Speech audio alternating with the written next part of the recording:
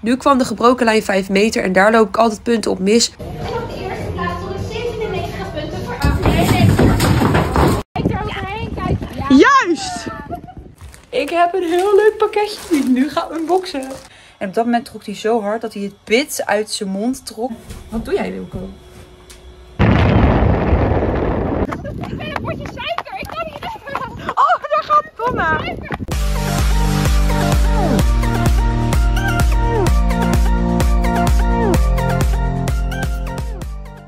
Een hele goede avond. Ik ben op stal bij Wilco met Shelly, die nu de hoeven van Wilco aan het uitkrabben is. Shelly is van Nelly, de haflinger, die jullie van de week in mijn vlog hadden voorbij zien komen. Toen we gingen zwemmen. En eh, ik heb vanavond Wilco... Wat? Nee, ik heb vanavond wedstrijd met Wilco. Echt pas om half negen en om kwart voor negen moet ik starten. Maar we gaan dus voor het allereerst op een vreemde locatie starten. Ik ben super zenuwachtig. Ik weet niet wat ik hier met de dingen in mijn handen zou doen, maar maakt maar niet uit. ik ben echt super zenuwachtig. Want het is natuurlijk voor het eerst op vreemde locatie. Dus ik ben heel erg benieuwd hoe hij dat gaat doen. En we gaan dus op de terugweg, want we gaan het heenweg gaan we erheen stappen. Het is ongeveer een uurtje stappen. En op de terugweg gaan we dus met de trailer. En ik hoop dat hij dat gaat doen, want het is weer de eerste keer sinds een tijdje dat we met de trailer natuurlijk gaan. Eh, we hebben het een jaar geleden voor het laatst, zeg maar januari vorig jaar, dus dat is al bijna anderhalf jaar geleden, hebben we dat voor het laatst gedaan. En toen ging het echt helemaal mis. Wilco vindt trailerladen totaal niet spannend, maar hij heeft er gewoon geen zin in. En hij is gewoon zo sterk, hij rent er gewoon langs. Dus je hebt gewoon niet de kans om hem überhaupt in de trailer te zetten. Dus, eh, en soms doet hij ook, dan gaat hij in de trailer staan.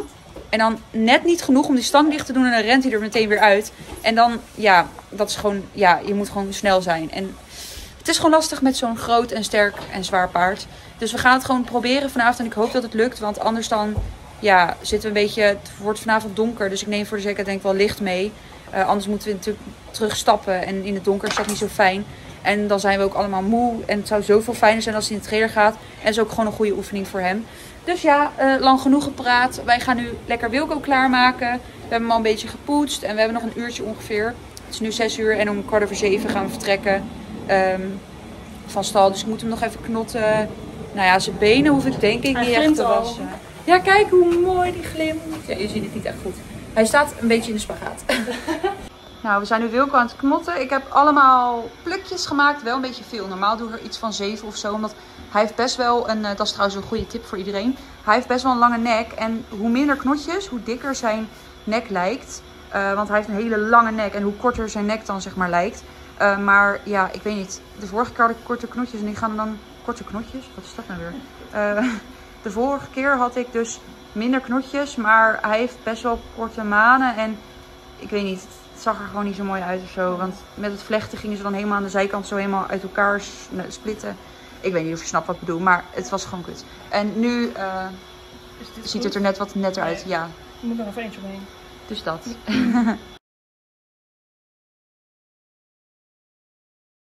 nou, Wilkatje is klaar. We gaan snel opschieten, want we hebben haast.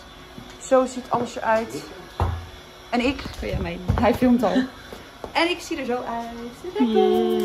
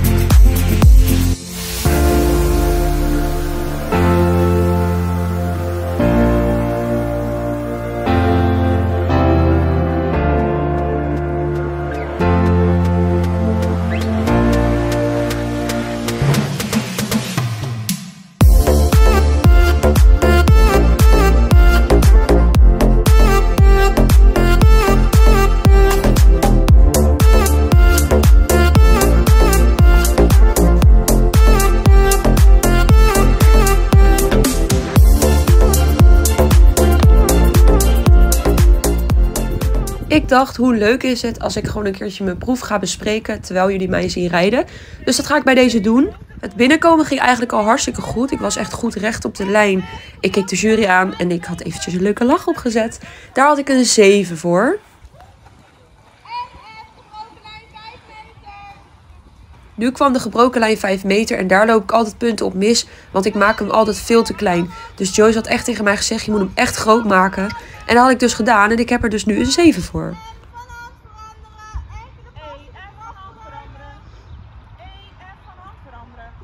Hier moest ik dus de draf gaan verruimen en ik heb hier dus een 5 voor en er staat bij haastig niet ruimer.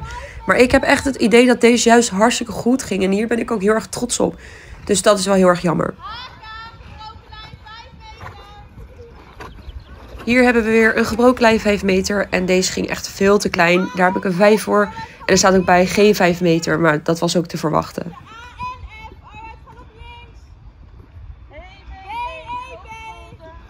Tussen A en F arbeidsgelop links aanspringen en daar heb ik een 7 voor. Dan hebben we hier BEB grote volte. Daar heb ik een 7 voor. Ik vond de galop een beetje onrustig met zijn hoofd, zoals jullie wel kunnen zien. Maar ik heb er toch een 7 voor.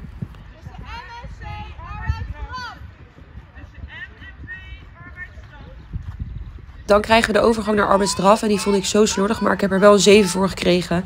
Maar hij viel echt uit de galop en dat is natuurlijk niet wat je wil. Dan krijgen we hier EF van hand veranderen. En ik dacht dus dat het EB van hand veranderen was. En dan zie je mij op een gegeven moment, oh shit, ik moet naar F.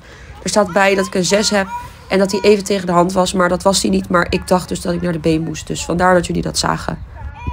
Tussen A en K arbeidsgalop rechts aanspringen, daar heb ik een 6 voor. En er staat bij onrustig in de aanleuning en daar geef ik ze helemaal gelijk in. Dan krijgen we de EBE grote volte en daar heb ik een 6 voor. En ik vond ook die volte best wel mooi. Het is wel jammer dat hij zo met zijn hoofd aan het schudden was. Dan krijgen we hier de overgang naar de arbeidsstraf en die ging al een stuk beter en daar heb ik zelfs een 7 voor. Nou, dan hebben we hier de overgang arbeidsstap. Daar heb ik een 5 voor en er staat bij tegen de hand.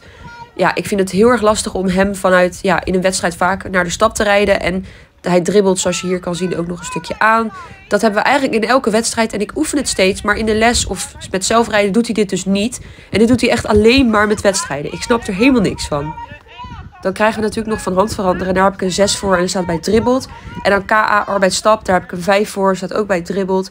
En daarna moesten we al gaan aandraven. En voor het aandraven heb ik een 6 en die vond ik ook best wel netjes. Uh, daarna hebben we BEB grote volte en na enkele drafpassen het paard de hals laten strekken. En normaal gaat het eigenlijk hartstikke goed. Maar ik weet niet waarom ik zo laat pas de teugels los deed. En uiteindelijk ging hij ook weer schudden met zijn hoofd. Dat doet hij echt heel vaak. Uh, daar heb ik dus helaas... Nou ja, helaas. Ik heb er een 7 voor, dat is wel goed. Maar we hebben wel eens een 8,5 gehaald. En toen had ik bijna 9. En ik wil gewoon heel graag een keer die 9 halen. Daarna moet ik mijn teugels op maat maken. En daar heb ik een 7 voor.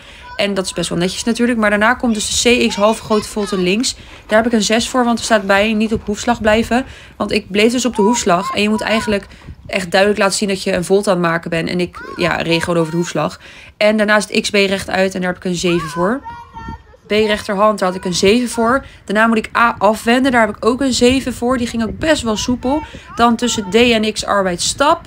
Daar heb ik een 7 voor. En dan tussen X en G halt houden en groeten.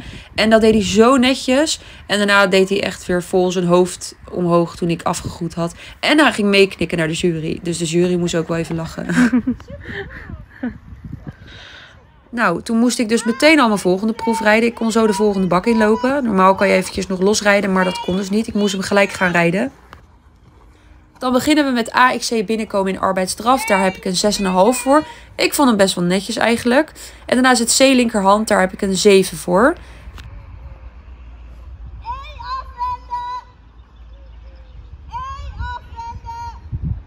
Dan krijgen we E afwenden. Daar heb ik een 6,5 voor. En daar staat bij recht houden. Blijkbaar ging hij een beetje scheef, maar dat had ik eigenlijk zelf helemaal niet door. En dan is het B rechterhand. Daar heb ik een 6,5 voor.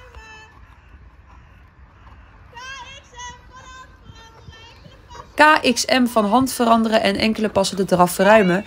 En daar heb ik een 7 voor. Deze vond ik ook best wel netjes. Hij ging wel een beetje met zijn staart sweepen, maar dat maakt niet uit. Maar ja, ik vond deze best wel netjes.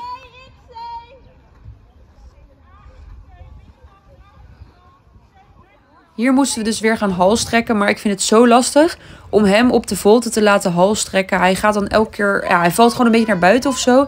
En dan wil ik hem terugrijden met mijn benen. En dan gaat hij weer te veel naar binnen. Dus daar moeten we nog heel erg op oefenen. Daar heb ik een 6,5 voor. En de vorige keer hadden we daar, zoals ik net al zei, een heel hoog cijfer voor. Dus dat vond ik wel jammer dat we zo'n laag cijfer hadden.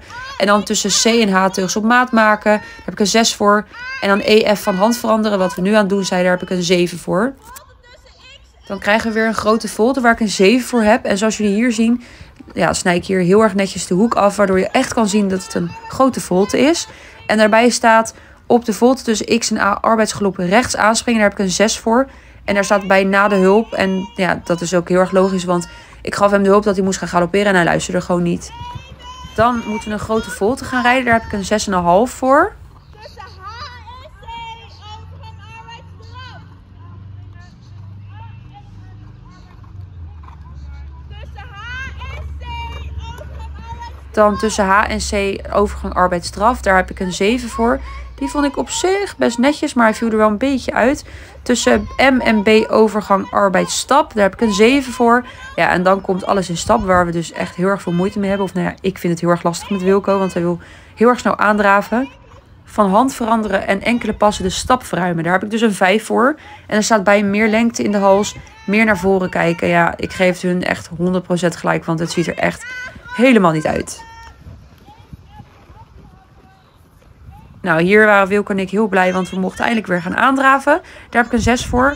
En dan krijgen we weer de grote volte AXA. Daar heb ik een 7 voor.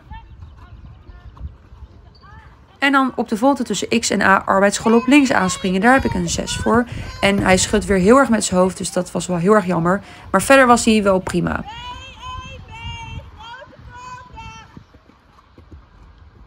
Dan krijgen we BEB grote volte. Daar heb ik een 6 voor. En er staat bij onrustig in de aanleuning. En hij was weer heel erg met zijn hoofd aan het schudden. Dus dat was echt wel mega jammer. Want anders had het een hele mooie galop kunnen zijn. En ook een hele mooie volte.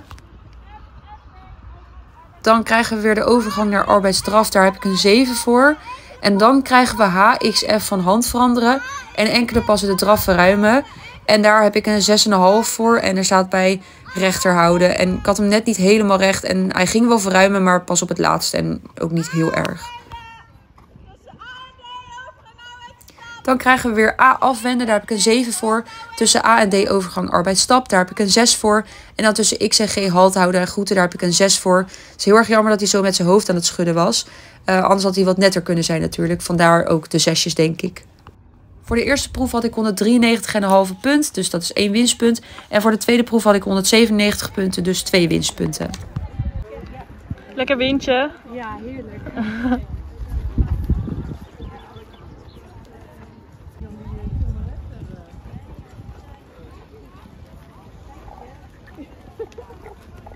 Wachten op de uitslag. En op de eerste plaats 197 punten voor Ashley van Rijn. Nou, alsjeblieft. Ik ben zo klein naast jullie, hè?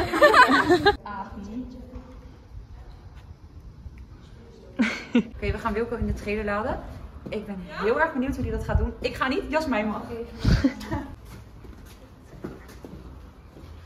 Let's go, Willy. You can do it. Kom maar, wel jammer. Ah, ben je serieus? Oh nee.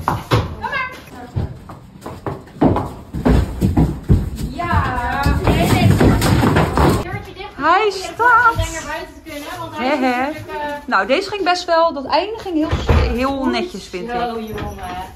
Goed zo. Goed zo, Willy. Nou, nou.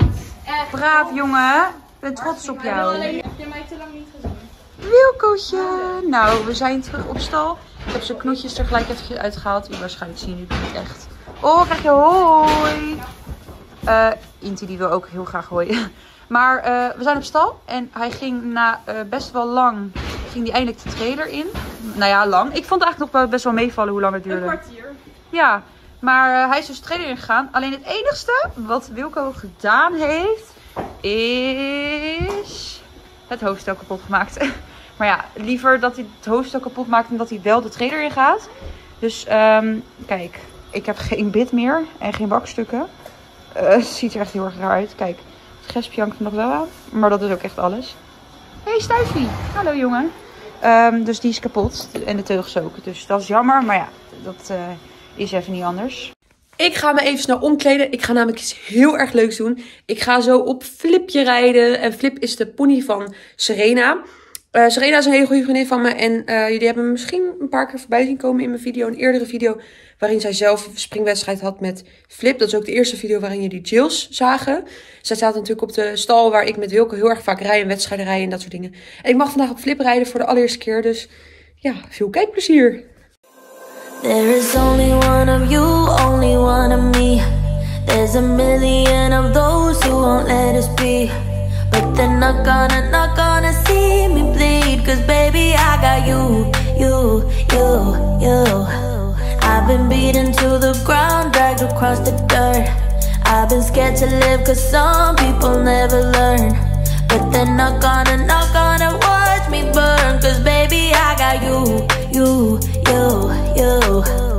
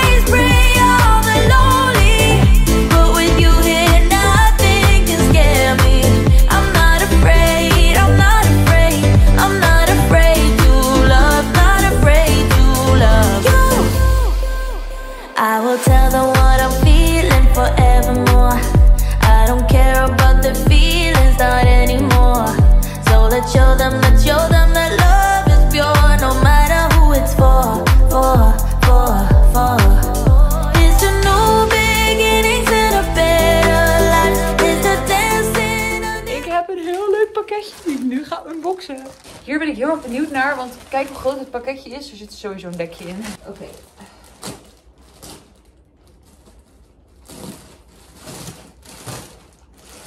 Oh my god. Ik ga één tip geven. Het is mijn favoriete merk. Equest in Stockholm. Oh, ik hou van dit merk. Oh, deze is zo mooi. Oké, oké, oké. Wilco gaat weer shinen. Zo, deze is gaaf. Kijk dan. Oh, deze is mooi. Oké, dit is echt even... Wow, kijk van binnen ziet het er dus zo uit. Grijs met gaas of zo. Maar de buitenkant heeft ook dat gave gaas. Huh, dit is zo gek om te zien. En dit is een soort beige-achtig kleurtje of zo. Hoe heet dit dekje? Chantelle. Ik weet niet hoe het uitspreekt. Chantelle of zo. Deze is gaaf. Oh, hier ben ik zo blij mee. En ik heb nog iets. Oh, een bijpassend shirtje. Oh, I love it. Oh, ik heb weer een nieuw setje. Kijk, dit. Oh, ik ga hem gelijk uitpakken. Oh my god. Eerst volgende keer als ik ga rijden, ga ik hier gelijk weer mee rijden.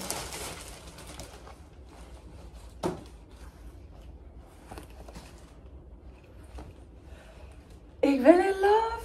Oh my god, Hyposor. Je maakt me hier echt, echt zo gelukkig mee. Hier ben ik zo super blij mee. Dankjewel. Ik ga, oh, ik ga deze gelijk even passen. Oké, ik heb hem aan. Hij is een beetje aan de lange... Sorry, mijn broek zegt helemaal doorweekt omdat het kaart het regenen is. Ik ga wel zo blijven.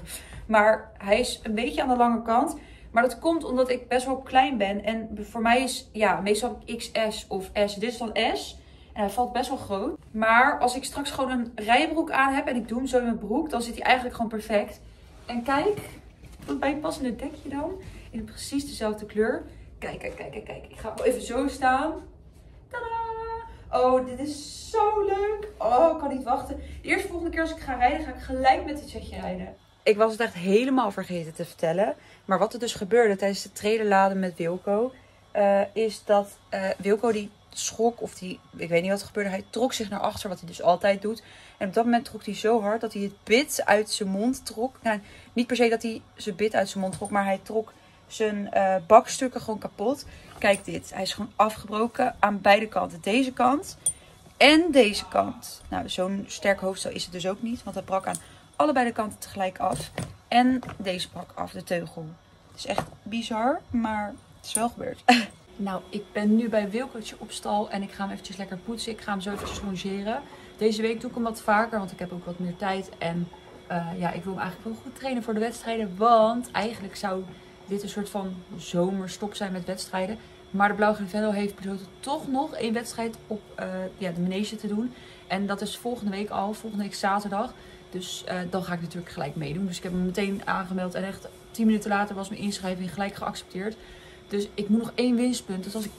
Zo, dankjewel Wilco. Dan... Eeuw, had hem in de waterbak en daarna in mijn gezicht. Dankjewel. Maar ik moet nog één winstpunt. En als ik die ene winstpunt heb, dan mag ik het L starten. En voor het L wil ik nog wel eventjes goed oefenen. Wat vind je allemaal spannend, Wilco? Hij staat echt heet te blazen. Maar ik moet dus nog één winstpunt. En ik wil eigenlijk voor uh, die L nog wel even goed kunnen trainen. En dat kan dan. Aangezien ik dan genoeg tijd heb. Uh, dus ik ga vandaag longeren. Want eergisteren hadden we wedstrijd en gisteren is hij gereden. Gewoon even rustig aan. Uh, vandaag ga ik hem longeren. Morgen is hij vrij. Dan ga ik hem mor die dag daarna ga ik hem rijden, denk ik. En die dag daarna ga ik hem denk ik ook rijden. Uh, en ik heb nog iets heel erg leuks te vertellen. En dat is dat ik met Serena. Serena is de eigenaar van Flip. En is een vriendinnetje van mij. Uh, die staat op Blauw-Gele Vendel. Uh, wij gaan samen een kuur op muziek rijden. En die kuur op muziek is pas in september. Maar ja, het klinkt wel heel erg ver weg. Maar eigenlijk valt het best wel mee. Want het is nu juli. Over twee maanden is dat dus al. Het is dus op een soort van feest op de, op de Blauw-Gele Vendel. Op de manege waar ik dus altijd wedstrijden heb met Wilco. Uh, tenminste, meestal altijd. Nu eventjes op.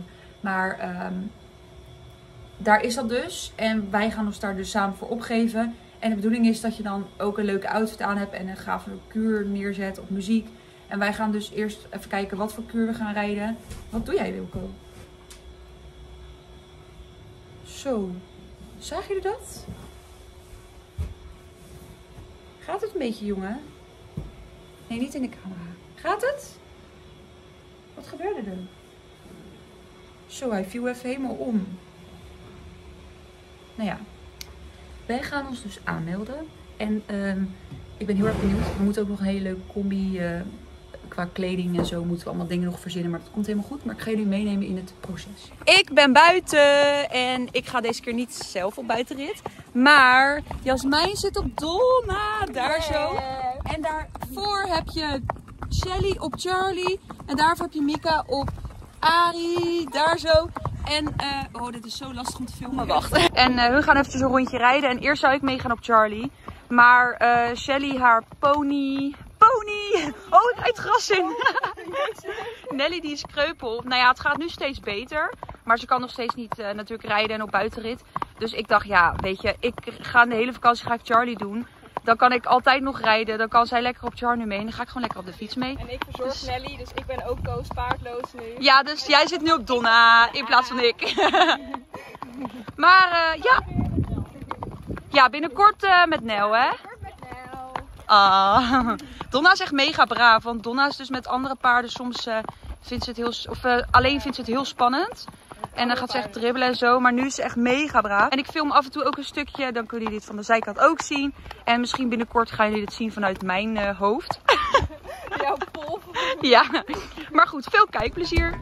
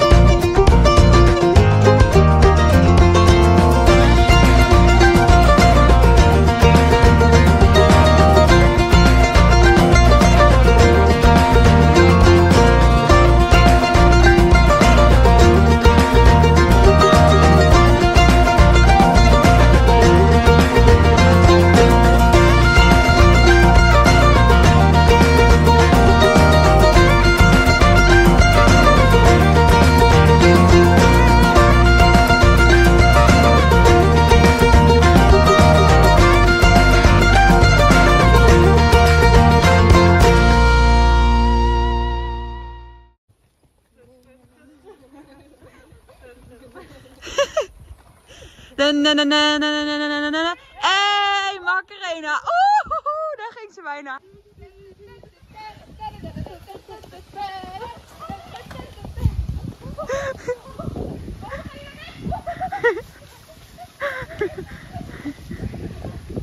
Ik weet echt niet wat ze allemaal aan het doen zijn, maar het zal wel. Ik ben een kopje.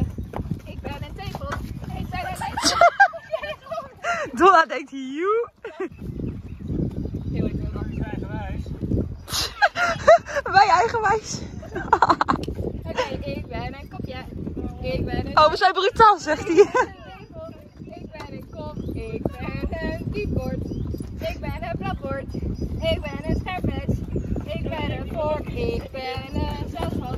Een potje suiker. Oh, er komt ineens een aan. Ik ben een potje suiker. Ik kan niet. Oh, daar gaat Donna. Oh, de paarden gaan. Oh. Nou, Donna gaat er vandoor en Charlie ook. Ze zegt ook gewoon, een potje suiker kan niet remmen. Die man die zei dat we brutaal waren. Omdat we met de paarden hier rijden en toevallig op de weg rijden. Nou, wielrenners, die zijn pas, eh, nou niet allemaal, maar heel veel zijn gewoon best wel brutaal tegen ons. Dus. Nu ben ik weer. Dus nu...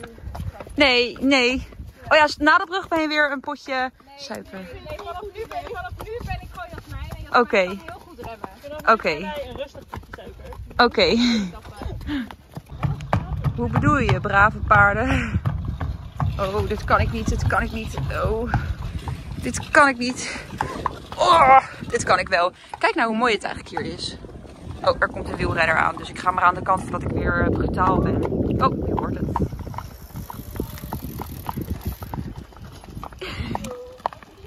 Oh, deze was aardig. Zo kan het zo. Ja, zo kan het ook. ik heb het gefilmd, dus nu, nu hebben we bewijs. Bewijs. Weer heel erg bedankt voor het kijken naar deze video. En ik hoop jullie weer te zien bij de volgende video. Doei!